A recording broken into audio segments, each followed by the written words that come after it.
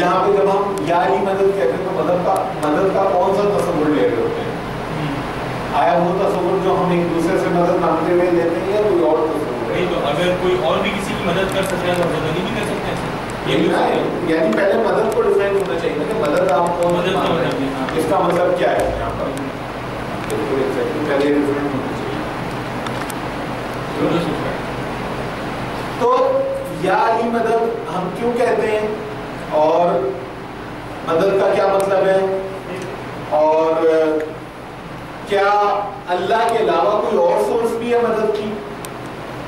ये सारी चीज़ें जब तक हम डिस्कस नहीं करेंगे, और इसके जो प्री रिक्वेजिट हैं, इस सब्जेक्ट के, इस टॉपिक के रादर इस टॉपिक के, जब तक उनको नहीं समझेंगे, इस मसले को नहीं समझ सकते।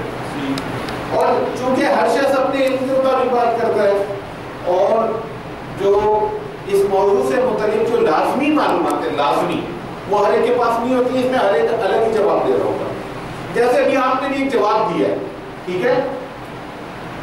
हर एक अलग जवाब देता है, और जब अहले सुन्नत बरादरान के सामने ये बात जाती है उनको आप कुछ कहते हैं, मैं कुछ और कह देता हूँ। एक जो ओलू की तरफ़ माइल है वो एक और ही जवाब दे देता है। तो क्या होता है, माशरे में कंफ्यूजन क्रिएट होता है। पहली बात ये कि ये एक ऐसा टॉपिक नहीं है कि जिसमें माशरे में बहस की जाए, उसके लिए कि इसको समझना भी आपको अंदाज़ा होगा कि खुद इस टॉपिक को समझना कितना मुश्किल है। ठीक है? फिर इसको समझना और फिर इसको समझाना, हर जहनी सदा के फर्द को, ये कितना मुश्किल काम है। ये आसान बहस नहीं है जो बजाय बहुत आसान नज़र आती है और हम दो जुमलों में उसका जवाब देके जान छोड़ाने की कोशिश करते हैं, वैसी बात नहीं है। एक चीज़ जो इस मौजू से मुतलिक है, वो बहस है इंसान कामिल की बरह सारी बहस इसकी कि इंसान कामिल कौन है? मदद से भी ज़्यादा ये चीज़ समझनी कि इंसान कामिल कैसे कहते और जब तक हम इंसान कामिल को नहीं समझेंगे और उसके मकाम और मरतबे को नहीं पहचानेंगे, हमेशा उलझे रहेंगे कि या अली मदद, या या रसूल मदद वगैरह वगैरह इसके क्या मायने और और फिर इंसान कामिल को समझने के साथ साथ दो चीज़ें और समझना ज़रूरी है। सिफात ज़ात और सिफात फेल। अल्लाह की सिफात की दो किस्में बयान की जाती हैं। एक कहलाती है सिफात ज़ात, सिफात ज़ाती, और एक कहलाती है सिफात फेल। ठीक है? इन दोनों में क्या फ़र्क है? ये मैं प्रिलिमिनरी बात कर रहा हूँ हम कंक्लूड कर सकें टॉपिक को। लेकिन इन दोनों का फ़र्क क्या है? इसको भी समझना आसान काम नहीं है। मुझे बार बार नहीं समझना कुछ कुछ सिफात को मैं समझ जाता हूँ, ये सिफात जाते हैं। कुछ को समझ जाता हूँ, ये सिफात फेल हैं। ठीक है? लेकिन कुछ सिफात के मुतलिक में एम्बिग्यूटी है मुझे कि ये सिफात जात में ये सिफात फेल में है। मैं खुद नहीं समझ पाता। ठीक है? आप लोग अगर ये टॉपिक सही से समझना चाहें तो ये समझना बहुत ज़रूरी है, बताना ये चाह अगर आप इन दोनों में फ़र्क करना नहीं समझेंगे तो इस टॉपिक को नहीं छेड़े। ठीक है? तो सिफात ज़ात और सिफात फेल का फ़र्क क्या है? इंसान कामिल का मकाम और मरतबा क्या है?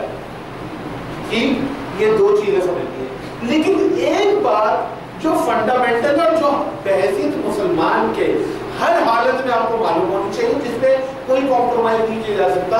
वो ये कि मदद सिर्फ़ और सिर्फ़ अल्लाह की तरफ़ से। इस अकीदे में कोई एम्बिग्यूटी नहीं आनी चाहिए। कि मदद का सोर्स सिर्फ़ एक जात है। दो जाते नहीं है। ये बात समझ में आ रही है नहीं आ रही यानी मदद का सोर्स एक से ज़्यादा हो सकता है। अगर कोई इंसान किसी इंसान की मदद करता है तो वो अल्टीमेट सोर्स नहीं है ना। मतलब एक इंसान खुदा ने क्या बोला जो आपके साथ एहसान करे उसके साथ आप एहसान अगर ये नहीं कर रहा है तो मैं इसके साथ भी फिर तो मेरे को खुदा का दो रकात शुक्राना पढ़ना चाहिए। अगर ये कर रहा है तभी मुझे इसके साथ बढ़ाई करनी चाहिए ना। यहाँ पर ये सवाल है कि जिनसे हम मदद मांग रहे हैं उनकी ज़बान क्या थी जब वो दुनिया में थे? और हम अपनी ज़बान में उनसे मदद मांग रहे हैं। और भी बहुत सारे उसमें हाँ ये भी सवाल किया जाता है। मतलब उनको उर्दू आती नहीं आती सही है वो तो अरबी थे ठीक है अच्छा तो पहले इस बात को एक्सप्लोर करते हैं कि क्या इंसान जो एक दूसरे की मदद करता है इस दुनिया में करते हैं ना हेल्प मुझे भी अभी किसी ने ला के ये मार्कर दी है मेरी हेल्प की उसने मदद की है आया इस मदद की नौयत क्या है और क्या वो मेरे लिए मदद का अल्टीमेट सोर्स करार पाएगा एक सवाल है इंसान अपने फेल में आज़ाद है या नहीं ठीक है ना? सही आप अब अगर आज़ाद है तो वो मदद करेगा। चलिए ये भी आ जाएगी बहस इसमें कि इंसान का इरादा। ठीक है? ये भी बहस आ जाएगी इसमें कि इंसान जो अमल करता है वो उसमें आज़ाद है या उसके ऊपर जबर है। मजबूर है वो अपने फ़ील्ड मजबूर है। अगर सिर्फ़ अल्लाह करे तो मजबूर है। जी ये ये बात कर रहे हैं।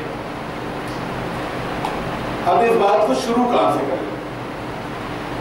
सबसे पहले बात ये करते हैं, जो अकीदा कंफर्म मालूम होना चाहिए हमें, वो ये मालूम होना चाहिए कि मदद अल्लाह के अलावा और किसी जात की तरफ़ से नहीं।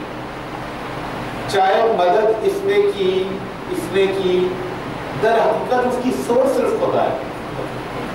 ये बात सबसे ज़्यादा ज़रूरी है, चाहे यह आदि मदद समझ में आए या नहीं आए, ये बात समझ में आनी चाहिए।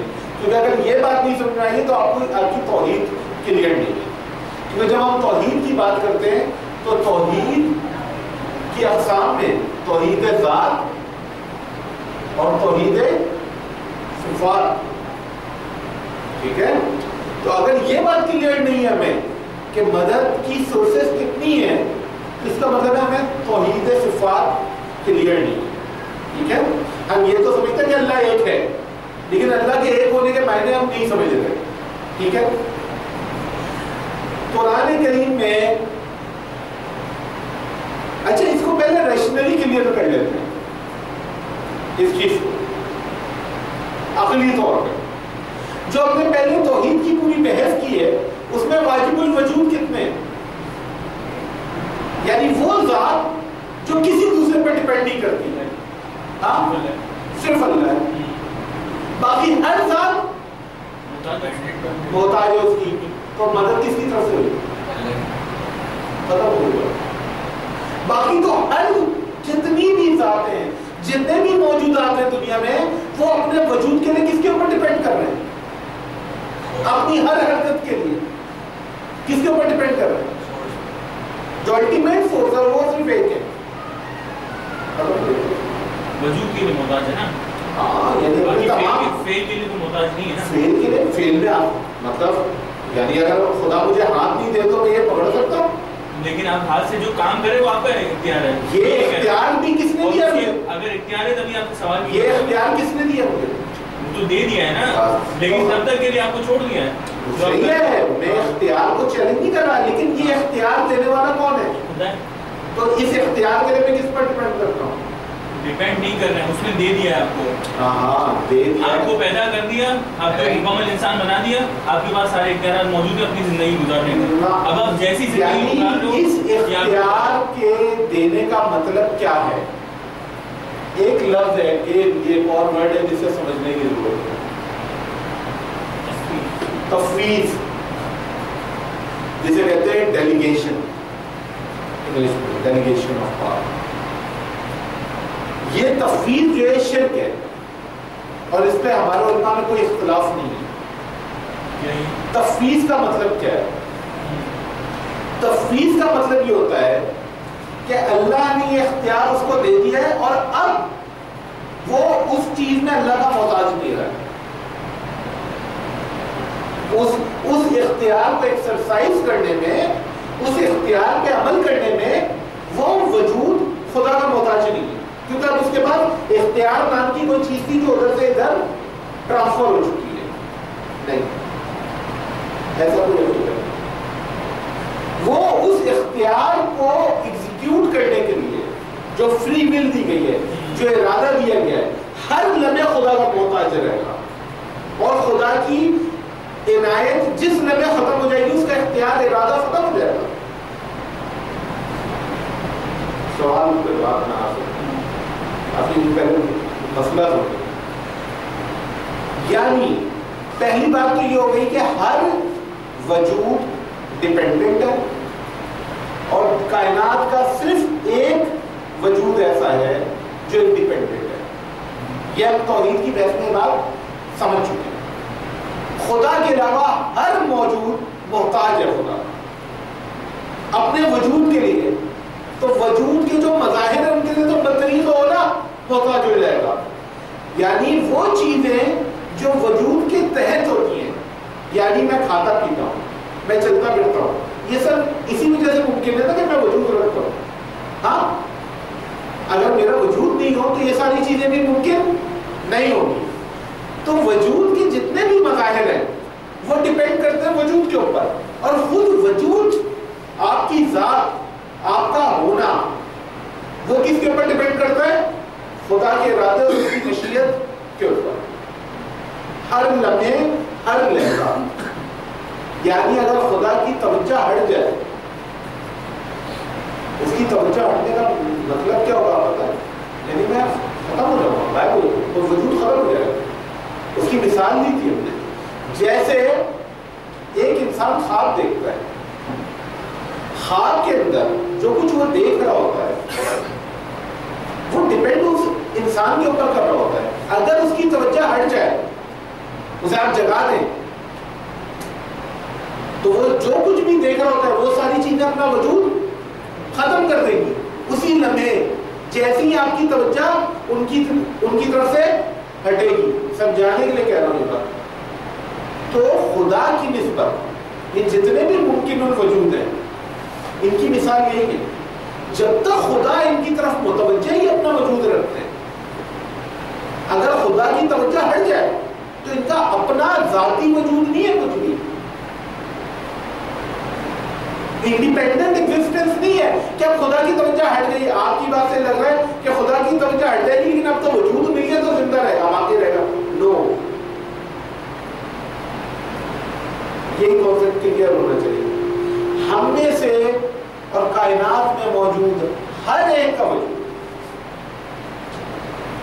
तमाम मलाइका, तमाम इंसानों जितने भी मौजूदात हैं उनका वजूद खुदा की तवज्जा, खुदा की इनायत की वजह से बरकरार है। खुदा की तवज्जा, इनायत अगर हट जाए तो वो अपना वजूद भी खो देंगे। ये बात बहुत इंपॉर्टेंट अगर ये बात क्लियर हो जाए तो फिर वजूद के जितने भी मजाहिर है वो वजूद के मजाहिर से मेरी मुराद ये है कि मैं मौजूद हूँ और मैं मसलन खाता हूँ, पीता हूँ, यहाँ पे खड़ा हूँ, आपसे बातें कर रहा हूँ। ये सब मजाहिर है मेरे वजूद के, ठीक है? यानी वो चीज़ें जो मुझसे मैनिफेस्ट हो रही हैं, मुझसे ज़ाहिर हो रही है। ये जितनी भी चीज़ें जो मुझसे ज़ाहिर हो रही हैं, ये डिपेंड कर रही है मेरे अपने वजूद के ऊपर। अगर मेरा अपना वजूद नहीं हो ये सारी चीज़ें भी खत्म हो जाएँगी। इसी तरह से ये सारे मजाहिर जो मेरे वजूद पर डिपेंड कर रहे हैं और मेरा वजूद किसके ऊपर डिपेंड कर रहा है? खुदा की इनायत खुदा की तवज्जो, खुदा के लुत्फ और मेहरबानी की वजह से। तो मैं, मेरे जो मजाहिर हैं, वो भी डिपेंड खुदा पर करता है। अगर खुदा की लुत्फ और इनायत नहीं हो तो वो भी मैं कुछ भी नहीं कर सकता। और इसकी मिसाल ये दी जाती है, मिसाल के तौर पर ये कैमरा यहाँ पर चीज़ों को रिकॉर्ड कर रहा है। मैं बात कर रहा हूँ रिकॉर्ड कर रहा ठीक? लेकिन अगर ये प्लग हटा दिया जाए इसका, पीछे से तो ये कैमरा अभी तो बरकरार रहेगा। जिस मिसाल में जो मिसाल मैं दे रहा हूँ, उसमें तो कैमरे का भी वजूद खत्म हो जाएगा। लेकिन समझाने के लिए बात कर रहा हूँ, ये पीछे से स्विच ऑफ़ कर दिया जाए, ये कैमरा अपना काम कर सकेगा ये रिलेशन यानी वो इख्तियार नाम है इस करंट का। जो इरादा और इख्तियार है, वो ये करंट है। उसके बाद ये अपना काम कर सकता है। लेकिन वो इरादा और इख्तियार खुदा की तरफ़ से आ हर लम्हे ये ऐसा नहीं हो सकता कि अब चूँकि कनेक्ट हो गया तो अब ये चलता रहेगा। नहीं, इसको हर लम्हे सोर्स से कनेक्ट रहना है एनर्जी सोर्स से। जैसे ही पावर सोर्स से आप उसको हटाएँगे, ये अपना काम खत्म कर देगा। तो अल्टीमेट जो पावर सोर्स है, पूरी कायनात की, तमाम मखलूक की, वो खुदा की जात है जिससे हर लहजा, हर लम्हा से कनेक्ट रहना पड़ता है। जैसे वो डिस्कनेक्ट होगी, वो अपना वजूद खो देगी अदम महज में चली जाएगी। यानी ऐसा भी कभी थी नहीं। ठीक है? ये है ताल्लुक वाजिबुल वजूद का तमाम मुमकिन वजूद के साथ। ये बात तो वक्त पहले डिस्कस होनी चाहिए चलो अच्छा आपके सवाल की वजह से अभी डिस्कस हो गई। ये ऐसा नहीं कि वजूद मिलने के बाद वो इंडिपेंडेंट हो जाता है। वो हर लम्हा, हर लहजा मोहताज होता है। जिसे हम कहते हैं फकर महज। और रसूल अल्लाह ने शायद सल्लल्लाहु अलैहि वसल्लम उनकी कोई रिवायत है, जिसमें उन्होंने कहा है कि मैं अपने फकर पर फखर करता हूँ। की रिवायत है। मतलब ये फकर वो वाले नहीं है, दुनियावी नाम ये फकर है कि मैं हर लम्हा, हर लहजा खुदा का मोहताज हूँ। और ये मेरे लिए भाई साहब फखर है। तो मैं उसकी तरफ़ पलटता हूँ, अपने वजूद के तो अगर ये बात समझ में आ गई तो ये भी समझ लें कि ये जो फुक्र है, इसकी भी दो डायमेंशन है। एक तो ये जबरी है। ये हदीस के अलावा और कोई आपके पास ऑप्शन नहीं है। ये आपके वजूद का हिस्सा है ये ये मोहताजी, ये एहतियाज ये खुदा का खुदा का मोहताज होना, आप इससे कभी भी बेनियाज नहीं हो सकते, इसलिए कहते हैं अल्लाह समर सिर्फ़ अल्लाह की जात है जो बेनियाज है। उसके अलावा दुनिया में कोई जात ऐसी नहीं जो कि बेनियाज है। हर एक को खुदा के न्याज है, खुदा की मोहताजी है। चाहे पूरी दुनिया में और किसी की नहीं हो। लेकिन खुदा की मोहताज वो हमेशा रहे। ठीक? तो एक तो इसका तकवीनी पहलू यानी उसमें आप इससे आज़ाद नहीं एक, वो जो इरादा और इख्तियार खुदा ने आपको दिया है, एक पहलू उससे जुड़ा हुआ और वो पहलू क्या है? कि असलन तो आप चाहे खुदा को मानते हो, ना मानते हो, उसके मुताबिक। और ये जुमला बोलने के लिए भी क्या आप उसको नहीं मानते, खुदा के मुताबिक? एक आप अपने अमल से, अपने एक्शन से इस बात को कबूल करते हैं हम तेरे ही मुताबिक। जो सूरह अलहम की आयत में जिसकी तरफ़ इशारा है ईया का नाम बुदू व ईया का अल्लाह, हम सिर्फ़ तेरी ही इबादत करते हैं और सिर्फ़ तेरी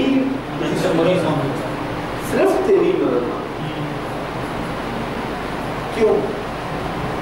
ये जो पहला जुमला कहा कि हम तेरी इबादत करते हैं, इससे ये ना समझ में आ जाए कि हम मतलब हम इबादत करते हैं अल्लाह से तेरी इबादत करते हैं, कोई ये ना समझ ले कि हम मदद करने इबादत करने में खुदा के एहतियाज नहीं रखते। नहीं ये इबादत भी इसी वजह से कर पाते हैं क्योंकि अल्लाह की मदद होती है हमारे शामिल हाल। अगर उसकी मदद शामिल हाल ना हो तो ये इबादत भी नहीं कर सकते उसकी।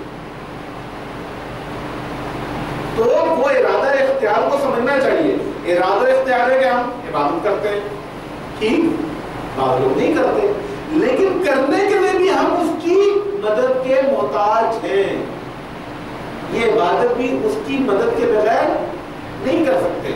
अगर उसकी इनायत शामिल हाल ना हो तो नहीं कर सकते। ये बात समझ तो खुद इस जुमले में जब भी या अली मदद की बहस होती है तो सबसे पहली दलील जो आपको सामने वाला देगा वो ये आयत पेश करता है। भाई, मेरी जो मेरे आज आदम तालिब से बहस हुई थी, इसी मौजू पे तो उसने ये पेश कर दिया है। बोला सूर्य फातिहा पढ़े मैंने पढ़ी सूर्य फातिहा बोला तर्जुमा करें अल्लाह हम तेरी इबादत करते हैं उससे नहीं मानते तो बात करते अब ये मुझे उस वक्त ये बकिया चीज़ें नहीं पता ठीक है जब तक इसीलिए कह रहा हूँ ये बाकी चीज़ें समझ में आएँगी, लेकिन ये बेसिक कॉन्सेप्ट क्लियर होना चाहिए कि खुदा की हर मखलूक, खुदा की मोहताज है और इस पर कोई कॉम्प्रोमाइज नहीं हो सकता। और ये नेगोशिएबल बात नहीं है, अकलन नहीं है।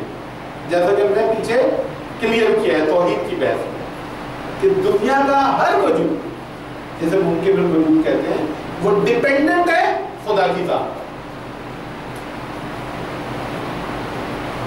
अब जब अल्लाह ही मदद करता है, मदद सिर्फ़ खुदा की तरफ़ से है तो ये कुरान की भी आयत है कि खैर और तकवा के कामों में एक दूसरे की मदद करो, इसका क्या मतलब? ठीक है? तो इस बात का क्या मतलब है? कि मोमिनों को कहा गया एक दूसरे की नेकी और भलाई के कामों में मदद करें। एक बात बताओ। असलन या वाली मदद का इस बहस से कोई ताल्लुक नहीं है। ये सिर्फ़ जवाब देने के लिए है एक बात। जो हम या वाली मदद कहते हैं, ये वो नहीं कहते कि अब या वाली मदद, मुझे मार पर उठा के ला के दे दे। आप कहें या वाली मदद और कहेंगे कभी आप, ट्राई करें। तो बेवकूफ़ नहीं बनाए बनाए। मेहरबानी ये वाली मदद के लिए हम, ये वाली मदद कह ही नहीं रहे होते। अगर आप इस वजह से कह रहे होते हैं मतलब वो मदद जो हम एक दूसरे की करते हैं तो मैं देता हूँ, आप ट्राई करें, कोई करे और कहे ये वाली मदद। इसमें हम ना मदद भी नहीं करते जहन में रहे। यार ना मदद भी नहीं करते ठीक है? तो ये इन चीज़ों की मिसाल नहीं देते क्योंकि ये रेलेवेंट नहीं है हमारे टॉपिक से एक दूसरे को बेवकूफ़ नहीं बनाते, क्योंकि पहले आप अपने आप को बेवकूफ़ बना रहे होते इन चीज़ों में तो कहता है या अल्लाह मदद या अली मदद? हाँ? तो मिसालें मैंने इन चीज़ों की क्यों देते हैं? इस तरह की मदद जेर बहस नहीं है। और ये बात इसीलिए मैंने कहा था यह समझना बहुत ज़रूरी है कि जब हम कहते हैं कि या अली मदद तो उसका मतलब क्या होता है? असल में उसका ताल्लुक अकीदा नज़र, तवस्सुल के नज़रिए से तवस्सुल का अकीदा है। ठीक है? एक बात जहन में रहे, एक साहब यही दलील पलट की या अल्लाह मदद पर भी आती है। एक साहब ने कहा ना कि भाई, या अली मदद तुम कहते अली मदद करते हैं तो चलो करवा के देखो तो मेरे जैसा कोई खड़ा हो तो वहाँ पे बोले, तुम या अल्लाह मदद कहते हो? तुम या अल्लाह मदद से करवा के दिखा दो।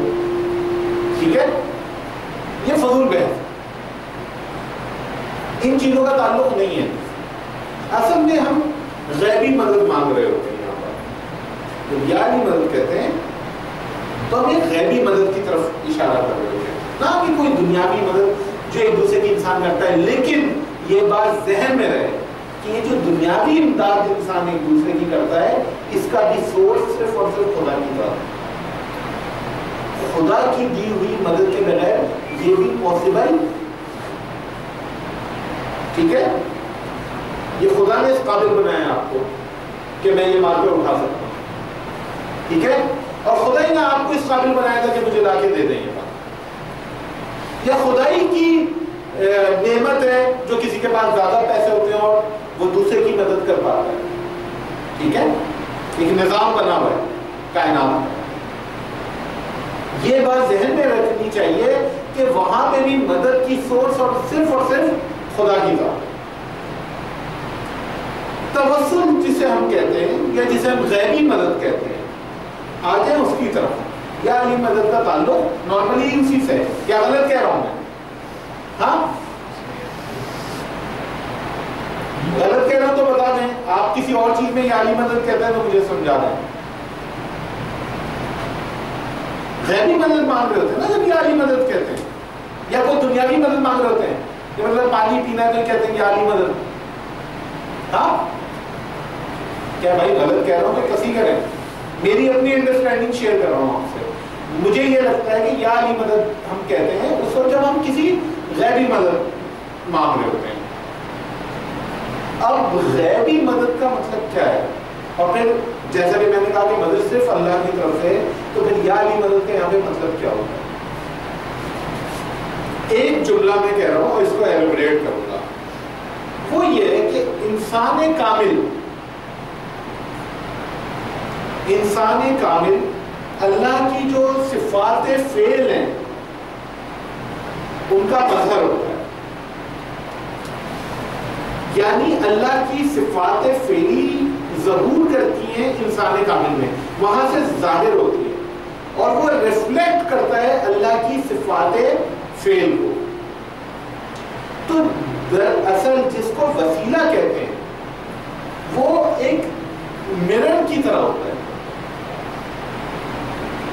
आईने की तरह होता है। और वो क्या काम कर रहा होता है? आईना खुदा की सिफात फेल को रिफ्लेक्ट कर रहा होता है। सोर्स खुदा होता है। रिफ्लेक्टर का काम कर रहा होता है, वसीला जिसे हम कहते हैं। ठीक है? इस बात को मजीद इसकी वजाहत करो।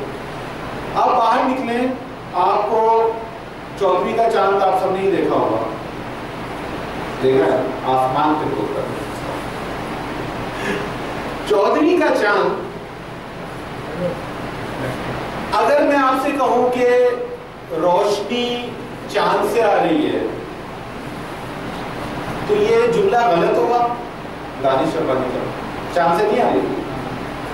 है ये लेकिन आप क्या साइंस पढ़ाना शुरू कर देते हो? जब कोई सवाल करता है आप कहते हो ना चाँद से रोशनी आ रही है। चांदनी और किसे कहते हो?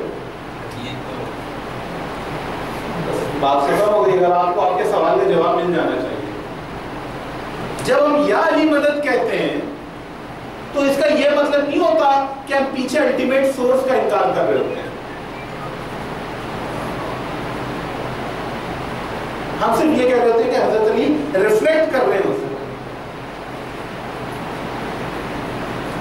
जैसे जब हम कहते हैं कि चौदहवीं रात में चांदनी चाँद से आ रही है तो इसका यह मतलब नहीं होता कि हम इनकार कर रहे होते कि पीछे सूरज एग्जिस्ट नहीं करता और चाँद उसकी रोशनी को रिफ्लेक्ट नहीं कर रहा। क्या इनकार करते हैं? जवाब दो। इनकार करते हैं? नहीं करते इस हकीकत का इनकार नहीं करते कि चाँद की अपनी कोई रोशनी नहीं है, ये हकीकत है, मालूम है सबको। लेकिन इसके बावजूद हम कहते हैं चांदनी हालाँकि में रोशनी नहीं है उसकी अपनी। अल्टीमेट सोर्स क्या है? सूरज है। चाँद क्या है? रिफ्लेक्टर है। मिरर के तौर पर एक्ट कर रहा होता है। लेकिन कोई ऐसा है, कोई बहस करता हो, नहीं चाँद तो नहीं चमक रहा देखा है कोई आपने ऐसा? तो मैंने आपसे कहा था कि सिर्फ़ या अल्लाह मदद के होते हुए, या अली मदद की क्या गुंजाइश है? वो यही गुंजाइश है। कि हमें मालूम है कि अल्टीमेट सोर्स गैबी मदद का, सिर्फ़ और सिर्फ़ अल्लाह की जात है। लेकिन हज़रत अली बतौर वसीला के उस मदद को रिफ्लेक्ट कर देते हैं। क्या होता है? सिफात फेल को रिफ्लेक्ट करना क्या होता है?